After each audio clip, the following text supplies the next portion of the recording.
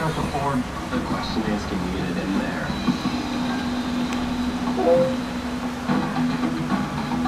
Are we ready? Are we ready? Are we We are. ready?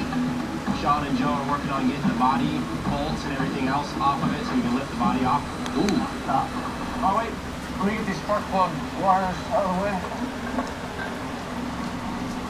Go ahead. Two more inches.